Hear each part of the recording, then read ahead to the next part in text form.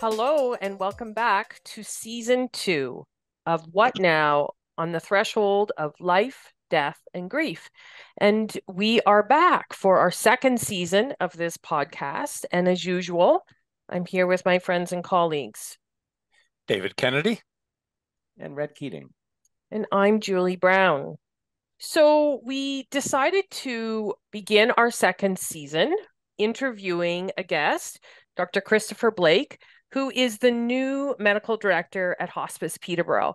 So maybe familiar to some of you, and um, will be familiar to our listeners after this episode. So we just felt like that was a great way to begin our second season, um, hearing from our new medical director and um, somebody who is uh, younger in the field um, than our Dr. Beamish that we interviewed last season, and just really interested to hear from um, Dr. Blake's perspectives. So I'm just going to do an official introduction and then we'll get right into the conversation. So, Christopher Blake attended medical school at McMaster University in Hamilton, Ontario. He completed his medical family medicine residency in Barrie through the University of Toronto. He went on to complete a year of added competency in palliative care through the University of Toronto. Chris is the current interim division lead for palliative care here at the Peterborough Regional Health Center, and he's also the current medical director of Hospice Peterborough. His interests include public health approaches to palliative care and narrative medicine. And outside of work, Chris enjoys writing fiction and spending time with his wife and his 18 month old son.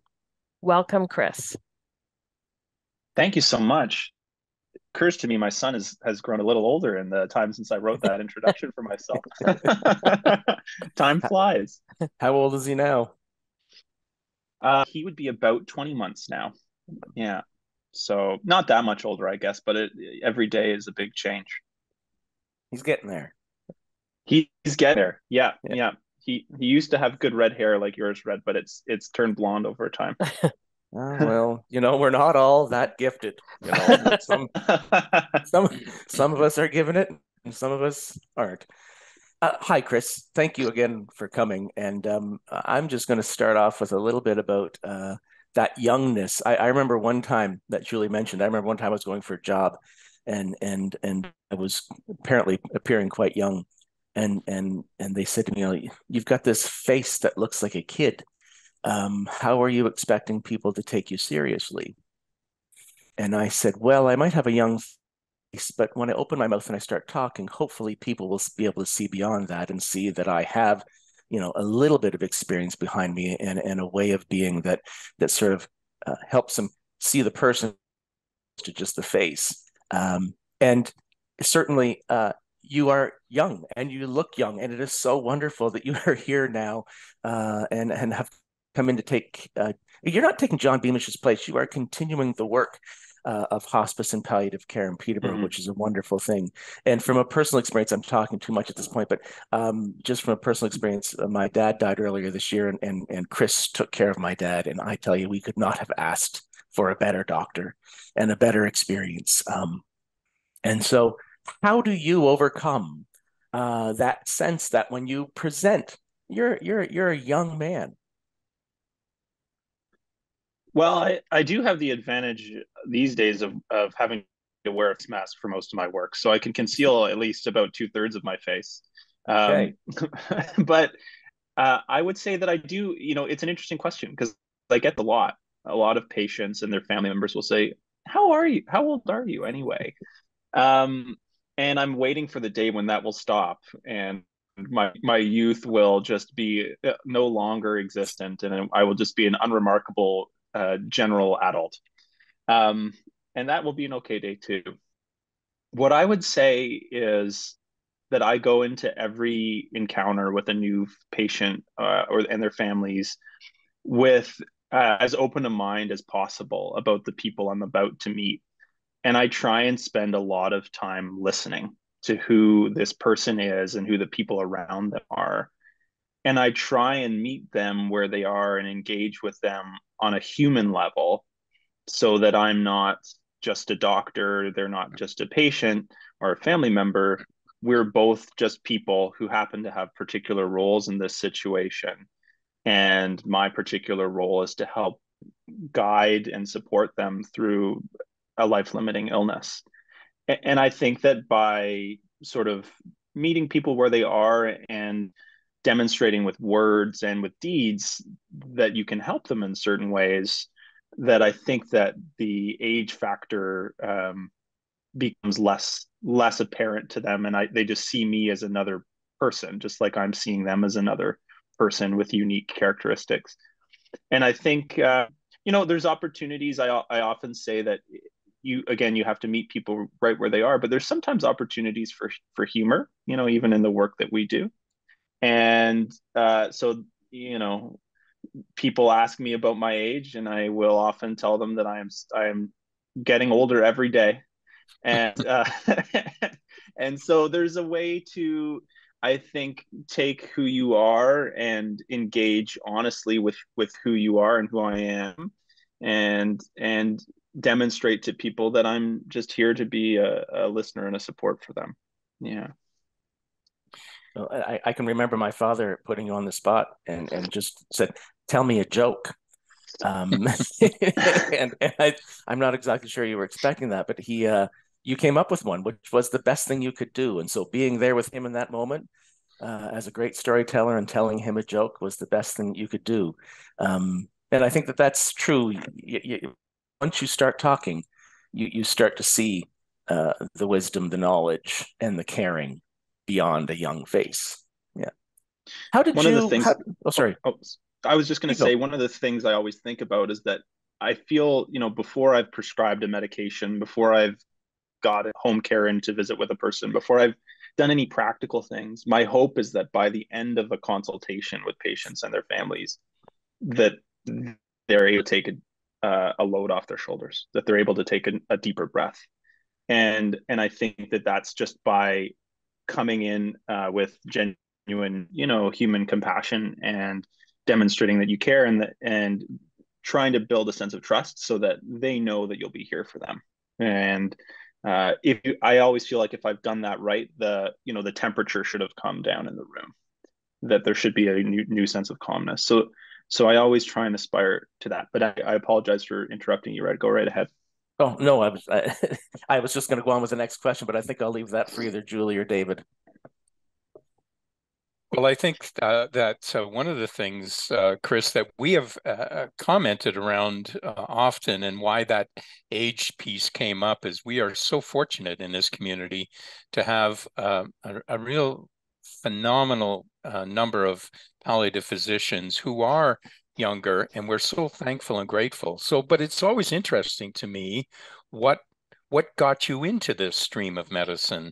Um, I, I think that you know the, the perception for many people is that this is not the area of medicine where most younger physicians want to necessarily start or be in so maybe you could help us by giving us a little of your background in terms of what what interested you in this and why what, what brought you into this particular field? So um, I love this question um, because to me, the really interesting thing about palliative care is that I thought that this, what we do, the way that we practice, was the way that all medicine was. I was really naive when I got into medical school. Um, I came from a humanities, primarily humanities and social sciences background.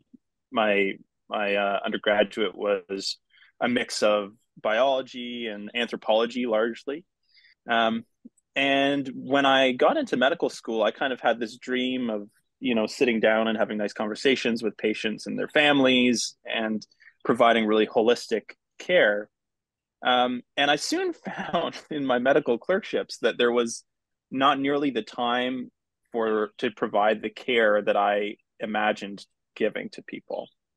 And I was a little bit disillusioned, to be truthful, about the medical world. Um, and I went through a variety of different rotations. And I was sort of, you know, in medical clerkship, you often talk to people about ruling in specialties that they might want to do and ruling out specialties they don't want to do. Well, I'd ruled out a lot without ruling anything in, and I was sort of at a loss as to what I would do. And I did a rotation in palliative care in Grimsby, Ontario, with Dr. Denise Marshall, who has been a real leader in the field of palliative care and, in particular, in uh, public health approaches to palliative care and compassionate communities paradigms here in Ontario. And she uh, immediately, within you know a few minutes of the beginning the rotation, I'd walked into the hospice uh, before entering, I'd been asked to slip on a nice pair of slippers knitted by the volunteers there. Dr. Marshall took me into the kitchen and got me a nice uh, cup of tea and a muffin. And then we sat down and, and started talking about, yes, pain and symptom management, but also, you know, spirituality and how that affects people's uh, end of life journeys, the search for meaning and purpose and value in caring for a person at that time of their life. And over the course of the next two weeks, I really immediately sensed these were the people I'd been looking for. This was the kind of care that I expected all of medicine to be providing in my naive early days as a medical first year medical student. And that really, to me, led me to realize I'd found my home uh, in medicine. And so I basically spent the remainder of my medical school career doing rotations and electives with the goal of getting to the point I'm at now of, of being a palliative care physician. I chose the residency program I did in Barrie, Ontario, because relatively uniquely among a lot of other sites, they had two two full blocks of palliative care training in the family medicine residency. And they also gave the opportunity for us to follow our own family medicine patients who required palliative care longitudinally over the two years that we were there so I knew there would be rich opportunities to get the training that I wanted. Um, and then I went on to do the year of added competency in, in palliative care in Toronto. And I worked all over um, the GTA, really, in a variety of different hospitals, seeing the different modes of practice there. And I think I am continually moved by the compassion and care that we're able to give people. I think when you when you enter the palliative care world as a patient or family member, I think that there's a different feeling to things right away. There's a sense that things are less rushed. There's a sense that things that people are caring for you as a complete human and looking at the care for your family as well. Um, there's just a sense I think that there's time and compassion um, and it's a different feeling, I think, to most of the rest of the healthcare system. I I never wanted to get uh, disillusioned like that again, like I was at the beginning of medical school, and I, and I think that palliative care is in some ways an antidote to a lot of the ills that you know that are in our healthcare system and that that affect both providers and also patients and family members. And I'd like to touch, if I might, also, David, on your comment about young people in particular seeking palliative care uh, there are, to my knowledge, and I don't have hard stats in front of me, but I think there's increasing numbers of young people in medical school and residency who are interested in pursuing palliative care. Um, there's now, in the last few years, a new Royal College subspecialty in palliative uh, medicine uh, through the Royal College of Physicians of Canada, Physicians and Surgeons of Canada. Uh, there is the year of added competency type programs, which I took as well, which are always uh, very competitive um, to get into. Um, and there's many people who don't go through either of those dedicated training programs, but who are very interested in palliative care. And and I think, you know, I haven't done any research on this, but I have a suspicion that it's not a coincidence that we find our healthcare system so fractured, so fragmented, so um, destabilized. Uh, we find people in more and more of a rush with less time to give to the patients and their families. Um, I don't think it's a coincidence that we find our healthcare system in that situation and that medical students and residents are eager for something different. And I think that palliative care is the place that they get drawn to as a consequence of that. Wow. That uh, that just um, that that just I, I can't express how how wonderful it is to hear those those comments and um, and and I think those reflect uh, so much the humanity side of medicine that that is so that people are looking for in so many ways. So thank you for that. I was Oh, you're welcome. It's a wonderful question. I was um even just the image of, you know, when you said you you went into that first day at the hospice and you sat down and you had the muffin and the tea and the conversation and, and I can picture it because I I see it happening and when you're at the hospice Peterborough I mean that is that is what you see happening is this slower pace you know m- meeting people having conversations sometimes laced with humor and you see that person to person contact even if it is something as simple over like a muffin or a coffee or something like that. You mentioned um, that one of your mentors, her her interest in compassionate communities paradigm. You mentioned. Can you tell us a little bit about what that means? Absolutely. I'll I'll start by saying that I'm by no means uh, an expert or a specialist in this. It is an area of interest to me, but um, by my apologies to anybody listening who's more expert in this area than me. Um, but essentially, to my knowledge, the compassionate communities paradigm has really been spearheaded by um, a palliative care expert named Alan Kellehear, who has been based in Australia and the United Kingdom. I, I had the privilege of seeing him speak in uh, Hamilton as well when he was, I think, here as a visiting scholar. Um, essentially, what the compassionate compu- communities paradigm says is that a good death is everybody's business. And that means that to provide the care, compassion, dignity, and support that a person and their family really need in the last phases of their life, uh, it can't necessarily all be accomplished just through healthcare providers and the healthcare system. Um, there is a wonderful example to that point that Dr. Marshall, who I mentioned as my mentor, uh, uh, outlined in a study that was done where they looked at uh, uh, older women with heart failure and basically they asked them in an open-ended way to identify who the people were that were part of their uh, providing them with quality of life and one of the people that they cited these women were the taxi drivers who took them out to their hairdressing appointments and so that was such an interesting answer i thought and not something that probably a lot of people in healthcare would think about but of course, that makes sense. If your mobility is limited and you can't get out to the place where you would usually go, maybe to socialize, to get your hair done, to feel and look the way that you vi- envision yourself, it's a huge additive to a person's quality of life to have access to that.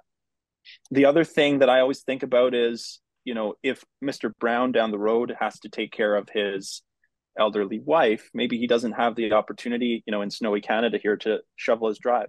So maybe my role in that situation is just to make sure that his drive is cleared and his sidewalks are cleared.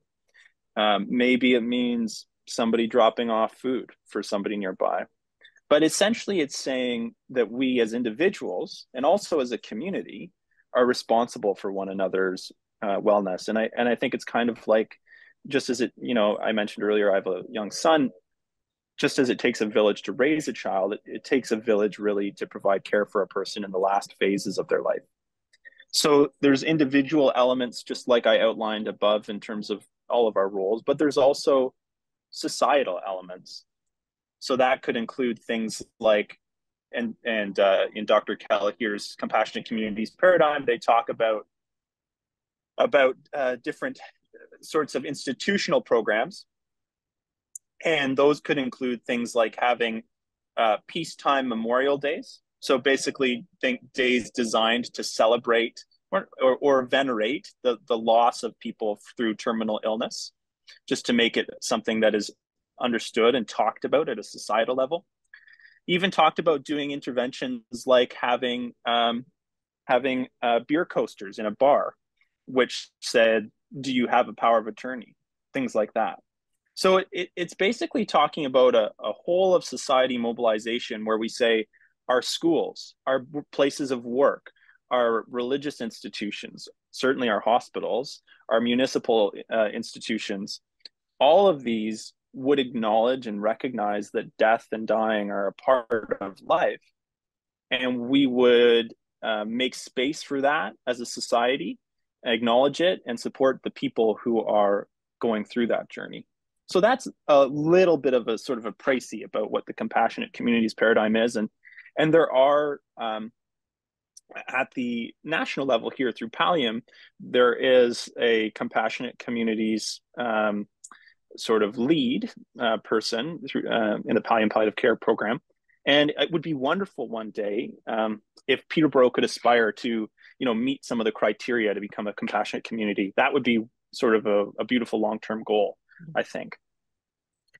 I'm imagining, Chris, thanks for that overview of it. I'm imagining that you see that probably happening on an individual family level all the time when you're going into people's homes and meeting with them. Are you seeing that in action around you, though, in the way that we surround and support each other? Absolutely. One of the things that's so inspiring to me, you know, often uh, patients and family members will ask me, "How do you do this work? You know, um, isn't it isn't it depressing?" And my response to that is always the same really. My response is that i actually find this work to be inspiring.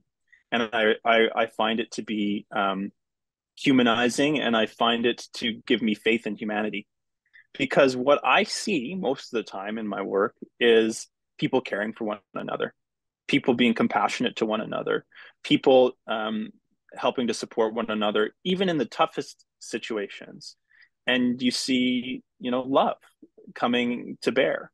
And so um, I see that all the time uh, between this compassion in the families that I support and, and between their families and their wider communities. And I think we were talking about how I was born in Newfoundland earlier on, I think before we started recording. And I kind of wonder sometimes if some of my disposition towards these sort of societal level aspects of palliative care is conditioned based on my upbringing and you know um, in newfoundland and i didn't grow up in an outport or anything like that by any means but certainly it, it is a place where people needed to care and need to care for one another or else it's a difficult time for everybody.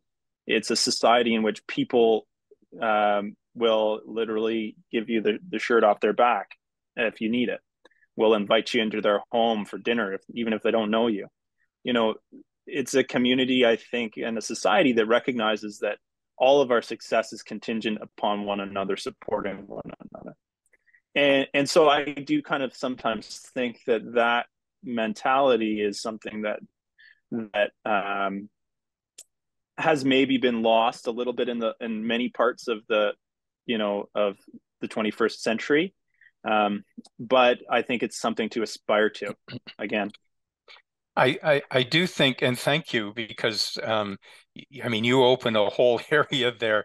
But but one of the things that I I, I would always confront when I would uh, with people, and they would say to me, you know, my my my doctor said there's nothing more, or my medical advisors say there's nothing more they can do for me, and there's this sense that that when when we approach our dying, that there's the idea that that that's it there's nothing left. And i think you just hit the word of compassion that opens the door to say oh my gosh there's everything left to do. And and it's not just reliant on a medical approach it's that holistic living in life and our humanity that engages people. And so I, and i know that people feel so helpless that you know what can we do but I think if we can re-engage mm-hmm. them in this compassionate approach to to to life and living one another, it it allows everybody to be a participant and to feel like okay, there's lots we can do in this piece. Compassion is the is the piece that invites all people to be a part of whatever we are experiencing there. Mm-hmm. And I think that's the greatest uh, wonderful gift there. If I could ask one more thing there, um, just a little bit, because you also, I also heard in your in your uh, bio um, that you you were a student of narrative medicine. Um, would you would you explain that piece for us? Certainly, and and I think you saying that I am a student is a very nice way to phrase it, and very accurate it is definitely another area that I do not consider myself an expert in, but a but a somebody on a journey of learning.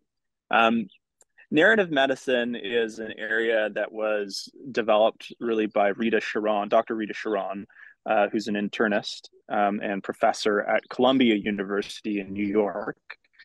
And um, essentially, the, the underlying premise of narrative medicine is that by listening to the stories of patients, interpreting them, and also by sort of reflecting them back to the patients and their families, we are able to better serve them uh, in the broadest sense in, in the medical care that they need. We're able to understand them better and provide them the care that they uniquely require. So it's a relatively, um, you know, it sounds kind of straightforward and nice, but there's a lot of of depth uh, and intellectual rigor that underpins all of this. Um, and a lot of what's involved is learning in in the day-to-day practice of narrative medicine um, which i sometimes internalize as i'm working is to think about the interactions and the dialogue that you're having with patients and their families almost in the way that you might analyze a piece of literature be that poetry or prose or what have you. And there are tools that you know literary criticism has developed that uh, allow people to really parse and um, sort of extract the most meaningful and relevant components of of, of uh, piece uh, so as to better understand it. And narrative medicine takes those skills and allows an individual uh, you know whether practicing medicine or social work or uh, what have you to to really sort of understand in a deeper manner the the stories of the person in front of in front of them. So for me i'm a i've always been a really keen reader. I don't have as much time for it these days as i used to but um, i think that all of us live life through story. You know humans are storytelling beings and we all have a sense of a beginning and a middle and an ending of our lives. And we project forward what we expect that middle and ending to look like. And i think that when somebody's been diagnosed with a life limiting illness aside from the physical damage that it does to the body it does damage to the story of our lives. It does it it wreaks a um, an emotional damage to that story because it's destabilizing the person who is just retired and is expecting to go, you know, traveling around the world with their loved one. That story is suddenly changed. It's taken away, the story that they were projecting forward. And so the big, I think a big question that many people wrestle with is how do I write a new story? It's not the same as the one it was before, but a story that still has meaning and purpose. And how do I sometimes reinterpret the things that have happened in my life or the stories that I've lived through and the lessons that they've taught me, which may or may not still be relevant in the time that I'm in now. So I think what I really take from it, again, not being an expert pr- practitioner in this area by any means, but is a uh, really um, individualistic approach to each patient that I encounter listening to their stories, asking them about who they are beyond all this medical stuff to find out what moves and drives them, what they've imagined and what they've hoped for. And then working forwards together, you know, helping to be a sort of um, ghostwriter, maybe, in the future of their lives alongside them. I help give them new uh, sort of ways to view and approach what might be the next phases of their life and and find meaning in it um, even though their circumstances have changed jumping off the idea of a story chris um, where do you see the future of palliative medicine going? Like what, what are what are the cutting edges or what are the outer edges that you see as you look 5 10 15 years down the road? That's a great question red um, so there are uh, um, there are a lot of advances that have been made, you know, since palliative care's inception. And to me, to look at where I would hope the next advances would come through would cause me to look at the places where I think we have the most work to do, basically. I think one of the areas where we have a lot of work to do is in helping people with some of the things I've talked about just now, which is basically how do you live well and meaningfully in the face of life limiting illness? There's there are wonderful things uh, that are done through um, supportive counseling, through supportive clergy or spiritual care, through supportive people like me who you know provide um, listening and, and counseling as a person goes through their uh, journey with life limiting illness. But you know, certainly I know that there are still people, despite all of those best interventions, and and sometimes despite the use of, you know, uh, the best currently available antidepressant medications or or other therapies that do suffer from demoralization, that suffer from depression, that suffer from anxiety related to their illness. And this is a an incredible challenge, um, this existential distress um, that people face in the face of life and limiting illness. I think that's one of the biggest challenges that palliative care and palliative medicine faces. And it is interesting to know that I think certainly this is something that society is recognizing um, and the medical world is recognizing, and that there is exciting uh, research going on in this area right now. So I think all the things that we're currently doing need to continue and need to be made available to everybody who would benefit from them.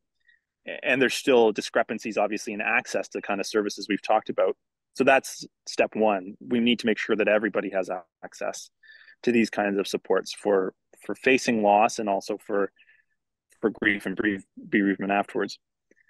But there's probably also going to be space for new medications and new approaches to uh, the treatment of some of these issues with existential distress.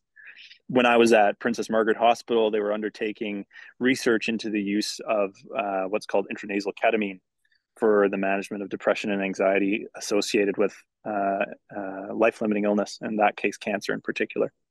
Um, and there were some remarkable results for some patients. Uh, I have a very good friend of mine who is uh, part of a new psychedelic research um, consortium at University Health Network in Toronto. And they are doing work with a variety of uh, psychedelic substances, which uh, uh, typically alongside counseling and therapy, uh, which again have shown some benefits for some patients in dealing with these kinds of issues of existential distress. So I, I, do think that there is going to be a um, a remarkable opportunity to help uh, with this symptom, which is one of the most challenging things that that we all deal with, and and I'll be excited to see where that moves over the next 10 15 years my guess is it's within that kind of timeline the other thing that i would just say is that i hope and i think that we are seeing this trend in society you know getting uh, moving away just from medications and things of that nature but I would hope that some of the things that we've been talking about this thus far in this episode do continue to be amplified at a societal level. Um, that there's more dialogue about death and dying as a society. That people are um, uh, more prepared to talk to their family members and loved ones about what their uh, wishes would be in the event that they're faced with life limiting illness. I hope that there's more of a move towards as many communities in, in Canada and around the world as possible of having these compassionate communities where it, uh, death and dying is is not just talked about, but it's something that we recognize that we all have a part in supporting. So I do see that in the last years, and I think there's a variety of different reasons for that, that these kind of topics are more in the public consciousness, and I think that that prevent, presents an opportunity for us to highlight how we can all collaborate together to help support people and their families at this stage of life. So those are my hopes and dreams. Uh, wow, that um, looks like there's a lot of work that's been done to this point, but an interesting and exciting future for palliative medicine coming our way. I sure hope so. As a one-off question, you know, after all that heaviness and all that good information, how did you end up in Peterborough? How did you pick of all the places you could live in this great country? How did you pick Peterborough? Oh, Red, there's so many different ways I could answer this question. Um, all of them true. Uh, um, so I was, uh, I'm kind of, I've always grown up in cities kind of this size. You know, I lived in St. John's, Newfoundland when I was a kid, about 115, 120,000. And then Kingston, Ontario was, again, about 120,000 kind of like that size of community, uh, partly because it does afford you the ability to form a community. You know, it is there's more of a sense of place and, and I think shared destiny when you have a a smaller um, community like this than in a big city like Toronto, where I was living just before coming here. Um, and uh, essentially, uh, I'd been living and working in Toronto. My my wife, um, my now wife, uh, was uh, originally from Hastings, Ontario, and she had opened her family practice in Trent Hills. And we'd been a long distance for a little bit, and uh, I decided that it was uh, I'd had enough of that, and and so I wanted I wanted uh, us to be reunited uh, again, and um, so we were looking around for different opportunities where we could both uh, live and practice in the same area. Um, and I think hearing from her, you know, her drive to support her community really inspires me. Um, and and so I was excited to try and be part of a medical community, but also a you know a, a local or regional community um, where I could feel like I was making a, a tangible impact. Um, and so we looked around and and I spoke with uh, Dr. Natalie Whiting uh, here in Peterborough, and she told me a little bit about the program, the palliative medicine program here in, in Peterborough. And uh, I remember hanging up the phone and uh, turning to my uh, my then fiance, I suppose, now my now wife, and I just said to her, if I could have imagined a palliative care program and, and designed sort of the perfect program for me to work in, this would be it um, the opportunity to provide longitudinal care to patients and their families, um, you know, at home, in our palliative care unit at the hospital, and in our hospice here, is uh, an incredible uh, thing, and uh, I think both for the physicians in our team, but also for the the patients and the family members, um, and just the, wealth of resources that um, people like uh, Dr. Beamish, Dr. Whiting, and others have uh, enabled to be available in Peterborough through, you know, uh, years and decades of advocacy. Um, this community is really, uh, re- really lucky to have the supports that it does have, and I'm really lucky to be a part of this community and and have the privilege of practicing here. Um, I'll also say, uh, Red, just as an aside, that my uh, my cottage is only about an hour and 40 minutes away from here and uh, and it's on the right side of toronto. So that also doesn't hurt. I told you I, I, I told you i had multiple ways to answer this all of them honest. Well, there's lots of good reasons. Well, I, I, I just, uh, I know we have the three, three of us have, have commented on this so many times, but, but particularly from, from my position as I as I come to the end of my career and and and and I, I hear you, Chris, and and others like you. It's all of our physicians talk this way, and and excited about where this is going. It just it just gives me such hope and gratitude, and um, I think as a community at large, we are we are grateful for that. But I also think it's the impetus to to continue, and I I hope we can really work on on that compassionate community approach. I really do hope, and I know that in the past we have. I've been involved in offering death cafes and trying to encourage the conversations around death and dying.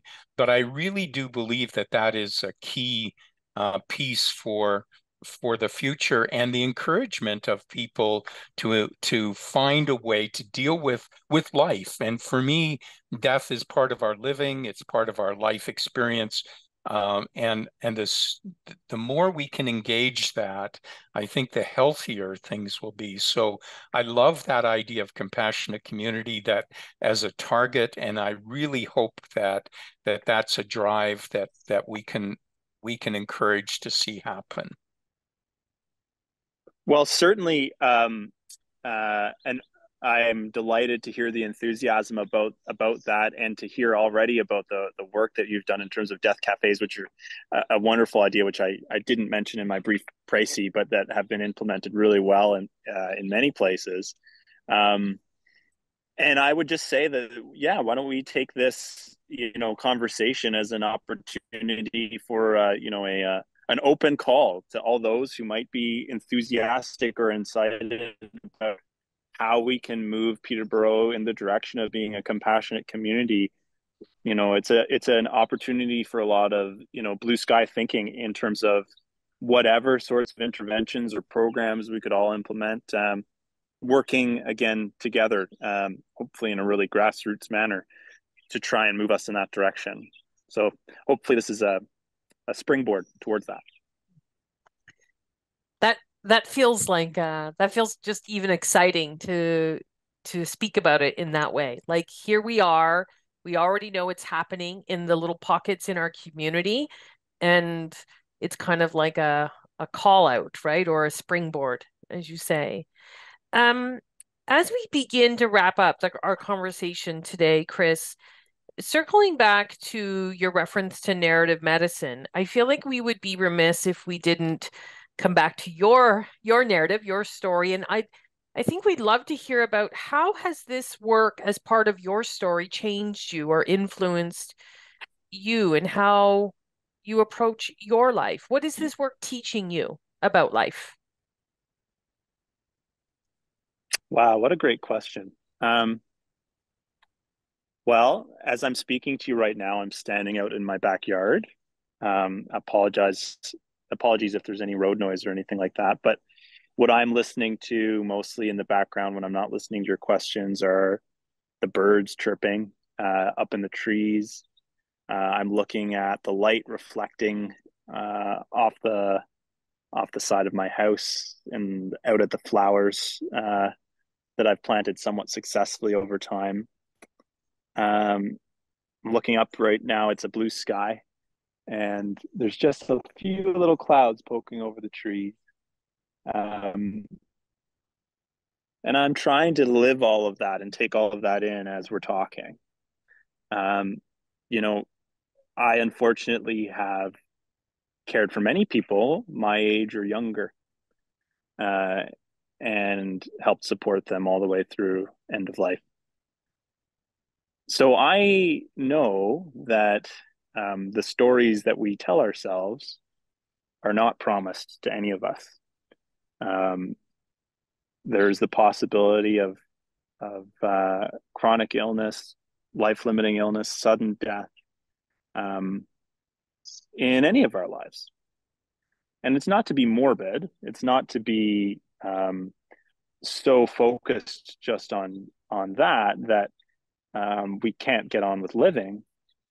But I think what this work teaches me is that, wow, we, you know, despite the challenges that we see in the world, we still have a pretty beautiful world in many cases. We hopefully, many of us have people who love us and care about us, and people whom we love um, and care for. We have things that bring joy to our hearts. We have opportunities to do good for others. Um, we have opportunities to get outside and just listen to the birds singing and appreciate the feeling of the sun on the side of your face. Um, I'm not going to pretend that I'm uh, some sort of enlightened individual who who also doesn't scroll on the internet and you know um, fritter away my time on things that probably could be better spent elsewhere. But um, I think the recognition and the realization that life is precious, life is something to be celebrated and lived to the fullest, is something that I try and take from my work. And I try also not to get too hung up on um, on small differences uh, of opinion or conflicts. Um, when really you know there's so much more that unites us and that brings us together um, and as i say you know the, the predominant thing that I see displayed in patients and their families when they're going through life limiting illness is love and care for one another. So, to me, amidst all of the sort of strife and distress that we see on the cable news or on the internet these days, I suppose, um, palliative care is a is a welcome reminder about the goodness in all of us and about the importance of of remembering death so that we can live life fully. Well, isn't that lovely?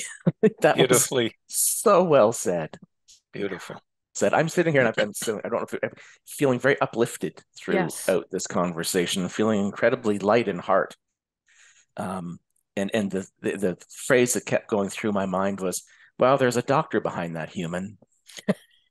you know, um, that that you've led with humanity as opposed to the intelligence that you clearly have and the skill that you we know you have, but that um, there's a doctor behind that human, and uh, that was a phrase that just kept rolling through. And how fortunate we are here in Peterborough at hospice and and in palliative care uh, to have that kind of a philosophy and that kind of approach uh, to the work that you do. It's just incredible. Thank you. Thank you. Oh, thank you all. It's been a it's been an incredibly um, rejuvenating uh, opportunity for me. Whenever I get the chance to, um, you know, talk, talk with people of like mind on these topics, reminds me of why I do the work in the first place. And uh, and thanks so much, Red, for that um, doctor behind the human comment. I think uh, my goal always is to just show up as a human and who happens to be a doctor.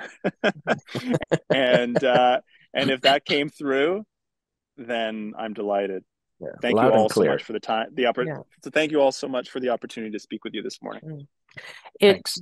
Definitely came through loud and clear. What a wonderful way to start off our season two with our um with this conversation. And I agree, Red, just that feeling of upliftment from it. Thanks again. Thank you. Thanks, Chris. You're welcome. Thanks for listening to What Now? On the Threshold of Life, Death, and Grief. What Now is produced in partnership with Hospice Peterborough. Music by Paradise Garage. Technical support provided by Sean and Jonah Heikert. What Now is recorded at Thin Spaces Studio. You can find more episodes of What Now for free on most major podcast platforms, including Spotify, Castbox, Apple Podcasts, and Overcast. If you want to support us, please follow and leave a review wherever you get your podcasts. And tell your friends. It does make a difference.